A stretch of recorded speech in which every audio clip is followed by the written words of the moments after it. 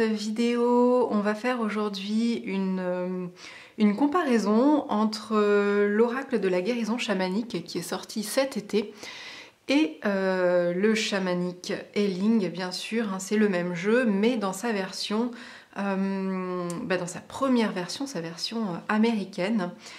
Alors c'est un jeu dont j'attends beaucoup parce que j'y suis très attachée. C'est le jeu qui m'a accompagnée un petit peu au moment du, du, décès de mon papa. Donc j'ai vraiment un, j'ai vraiment euh, quelque chose en fait avec ce jeu. Hein. On a créé euh, euh, une, on a vraiment créé un, bah, comment vous dire, un, lien très particulier, très fort ensemble. Il a vraiment été très présent. Je l'ai beaucoup beaucoup aimé. D'ailleurs, c'est le premier jeu qu'a réalisé Michel Motusa et elle en a fait d'autres après, mais pour moi, celui-ci euh, reste mon chouchou. Il a une ambiance, vous allez voir, avec des cartes sur euh, des fonds noirs qui sont vraiment très très beaux. Et ça reste, voilà, ça reste mon chouchou à moi. Donc on va découvrir un petit peu tout ça. Déjà, la première chose que je vois, bien sûr, c'est la différence du coffret. On a ici un coffret qui est plus grand, qui s'ouvre comme ceci. Hein. C'est une boîte cloche qui est euh, très traditionnel hein, des éditions Vega, puisque euh, voilà, il a été édité euh, dans la partie Vega de chez Très Daniel. Il est au prix de 24,90€. D'ailleurs, je vous mets la référence du jeu juste en dessous en barre d'infos. Si je trouve la référence de celui-ci, je vous mets aussi la référence de, celui-ci, puisque vous voyez, c'est quand même pas la même chose. On a également un boîtier qui est mat, alors qu'ici on a du glossy. Donc voilà, ça c'est les grandes différences pour le coffret. Et bien sûr ici s'ouvre, vous voyez, avec la petite languette qui est ici, comme ceci, on dirait un petit écrin. J'aime bien, je vous avoue que j'aime bien, je trouve que ça participait à l'ambiance du jeu, ce petit écrin euh, aimanté. Et donc euh, voilà, c'était un, jeu qui avait été publié par, par, par, euh, je me souviens plus, par Schiffer. Voilà. Au niveau du prix, 24,99 bah, dollars. Bah, aujourd'hui, euh, l'euro et le dollar sont euh, kiff kiff, donc, donc voilà, c'est la même chose qu'il y a quelques années pour le coup. Donc on a 44 cartes à l'intérieur et un guidebook. Donc on va regarder tout ça. Donc j'ouvre celui-ci, vous voyez l'intérieur. ici, je vais récupérer, je vais récupérer le livre. Je vais récupérer aussi les cartes. Voilà l'intérieur du, coffret de chez Schiffer. Hop Et on voit déjà aussi la différence de taille, bien sûr, du livret. On a un livret euh, bah, comme les cartes hein, qui est euh, plus petit. Dans sa première version, couverture brillante, alors qu'ici en français c'est couverture mate. Euh, voilà, je pense qu'on a, la, même taille, hein. donc la même qualité de papier, forcément. Euh, sinon, ça aurait été une, taille différente. On a ici euh, donc l'avant-propos. Hein. ça, ça, a été juste une traduction. Donc, je vous montre le livret. Donc, comment interpréter un tirage pour vous-même ou pour les autres. Moi, j'utilisais beaucoup, beaucoup ce jeu en tirage à une ou deux cartes, mais pas plus. J'ai pas fait plus, franchement. Euh, mélanger les cartes. Bon, après, je l'ai tiré dans des conditions particulières, donc c'est après à vous, bien sûr, de, voir ce que vous souhaitez. Euh, tirer les cartes, observer, prendre le temps de, les observer, d'observer aussi euh, vos émotions, euh, comment vous le ressentez, comment vous sentez les cartes. Ensuite, vraiment, on vous propose de, les lire, de faire un petit résumé. On vous propose des messages de tirage avec la carte à une carte, le tirage pardon à une carte, le tirage à trois cartes. Euh, qu'est-ce qu'on a d'autre? Le tirage à 5 cartes avec des petits exemples. J'ai pas trop suivi moi ça, hein. je vous avoue, je l'ai fait au feeling, je l'ai fait comme je le ressentais sur le moment. Euh, voilà. Plus votre question est claire, plus les cartes le seront, évidemment, on le répète jamais suffisamment. Et ensuite, donc, on arrive à la signification des cartes où vous avez une carte en couleur pleine page et l'explication à côté. On se tirera une petite carte à la fin pour que vous puissiez découvrir les textes tels qu'ils sont écrits et voir si ça vous plaît. Voilà, voilà. Euh, le chamanique Elling, du coup, on a donc la même intro hein, et la présentation qui est légèrement différente puisqu'on a ici de ce côté la représentation de la carte et en fait le message de la carte est de l'autre côté. Voilà, c'est tout. Mais c'est tout, hein. sinon on a la même chose. Voilà. Donc couverture brillante. Et on a une grosse différence de cartes pour les deux. Alors bon, celui-là, pardon, je suis désolée, il a été euh, euh, utilisé. Donc euh, je vais prendre le temps de les remettre dans l'ordre. Voilà, ça y est, je les ai mises dans l'ordre.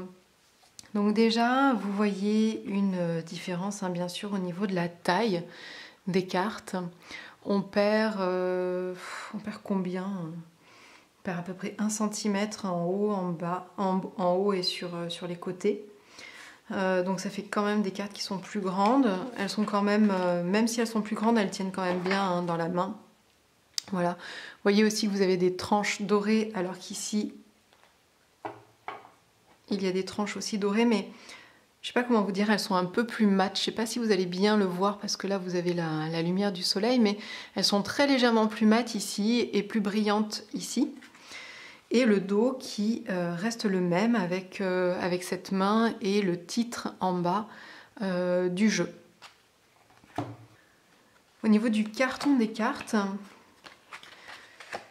j'ai l'impression d'avoir quelque chose de plus épais et de plus qualitatif en fait euh, avec celle-ci, avec les brillantes, euh, avec les glossy. Euh, celle-ci semble moins souple. En fait, j'ai un petit peu peur, de faire ça et j'ai l'impression qu'il va y avoir une pliure, donc j'ose pas trop les manipuler. Je ne saurais pas comment vous dire, mais je personnellement, je suis moins fan de ce carton que de celui-ci. Et au niveau des illustrations, alors euh, tout change par rapport au vernis qu'il y a dessus. Ici le vernis mat et ici le vernis brillant. Comme on est sur un jeu en noir, on a les couleurs qui ressortent beaucoup plus en fait sur le vernis brillant. Je ne sais pas si vous allez euh, euh, bien le voir, alors ça reste très beau, que ce soit l'un ou que ce soit l'autre. Mais on a quelque chose quand même qui ressort mieux donc c'est c'est pas forcément euh, ça c'est le vernis hein, qui fait ça parce que les couleurs sont les mêmes. On voit que les couleurs ont été euh, bien conservées. Euh, mais c'est vrai que le, côté glossy en fait fait toujours ressortir les couleurs d'un jeu, les couleurs d'une illustration. D'ailleurs, vous voyez qu'on a à peu près la, même taille de carte, hein, donc c'est le, même grammage hein, de carte. Je ne sais pas ce qui, c'est juste la différence de carton qui est un peu... ou le vernis qui fait que ces cartes-là sont plus souples peut-être. Donc la réunion des âmes, ici. On a la mort avec celle-ci. On a la perception. Le fardeau avec la fourmi. Le nouveau jour avec la libellule. La vérité. Je trouve que c'est un jeu qui est complètement unique. On ne voit pas d'autres jeux comme ça euh, sur fond noir avec ce travail. Euh, je ne parle pas du Lily Black, hein, euh, parce que là on est dans un travail à la craie, pas au crayon, au crayon de couleur. Mais il y a vraiment quelque chose, on ressent vraiment ce côté très, très terre à terre, très chamanique justement, qui correspond totalement à l'énergie du jeu. Et, que j'aime beaucoup. Vraiment, on le, ressent.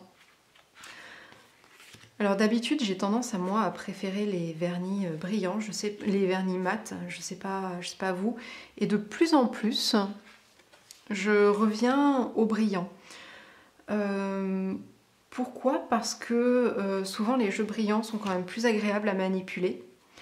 Ils sont plus bah, ils sont mieux protégés en fait aussi hein, quand on les utilise.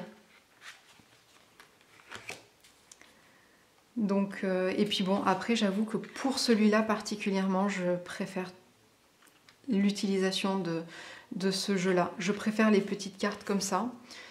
Euh, parce qu'à l'utilisation, moi j'ai eu besoin de l'emporter un peu partout avec moi dans un sac. Euh, il m'a vraiment suivi. Et le fait qu'il soit plus petit, c'était pratique. Euh, le fait de pouvoir l'utiliser partout parce que le vernis était brillant, ça a été très pratique aussi pour moi. Je me suis retrouvée à le tirer dans des, endroits et dans des lieux euh, oui, dans des endroits, donc forcément dans des lieux euh, assez incongrus. Donc, donc voilà, c'est vrai que de mon expérience avec ce jeu-là, et c'est vraiment très personnel, j'ai préféré, j'ai préféré cette utilisation-là. Et j'avoue avoir été quand même un petit peu déçue de voir que les cartes n'étaient pas, n'avaient plus la même taille et n'avaient plus le vernis brillant. Mais ça, c'est vraiment euh, très très personnel, hein, évidemment. Ça, ça n'enlève rien à la qualité du jeu puisque les illustrations et les couleurs sont tout à fait bien euh, conservées pour la version française. Donc vous allez, avec cette version française, vous créer vos propres souvenirs, vous aussi, bien sûr. La croissance, la créativité, la retraite, l'amour de soi. Elle est belle celle-là, je la trouve magnifique. La joie. On dirait en plus comme ça des, tableaux à chaque fois. Il y a vraiment une composition qui est euh, assez incroyable dans ce jeu. La façon dont le jeu, les illustrations sont, composées, on voit pas ça dans... C'est vraiment euh, très typique de ce jeu-là. Et le foyer. Alors je vais vous tirer une petite carte avec le jeu en français. Hop, je vais pousser mon jeu à moi.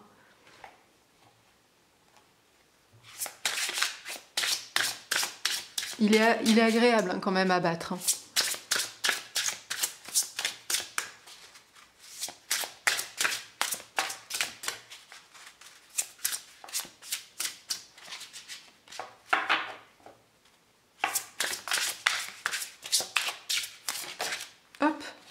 Allez, la retraite qui, euh, qui a sauté du jeu. Alors, la retraite, je vais vous lire ce qui est écrit dans le livret. C'est la carte 40, donc c'est numéroté, donc du coup c'est facile à aller chercher. Ça j'aime bien quand c'est numéroté. Je préfère quand c'est numéroté plutôt que les par ordre alphabétique. Tout à fait personnellement, je trouve que c'est plus facile à retrouver. C'est le bon moment pour vous retirer dans votre refuge et rassembler tranquillement vos forces pour ce qui est à venir. Prenez soin de votre corps, de votre esprit et de votre âme, afin qu'il soit aussi fort et libre que possible. Cette carte vous incite à prendre toutes les mesures nécessaires pour les changements qui vous attendent. Il arrive parfois très rapidement et même quand on les, attend avec impatience, ils peuvent nous prendre par surprise. Cette carte vous conseille de vous préparer aux changements qui arrivent bientôt. Cette carte peut également vous inviter à prendre le temps d'intégrer des changements que vous avez vécus récemment. Voilà, donc c'est un petit texte, ça va à l'essentiel, c'est très clair, et moi j'aime ça.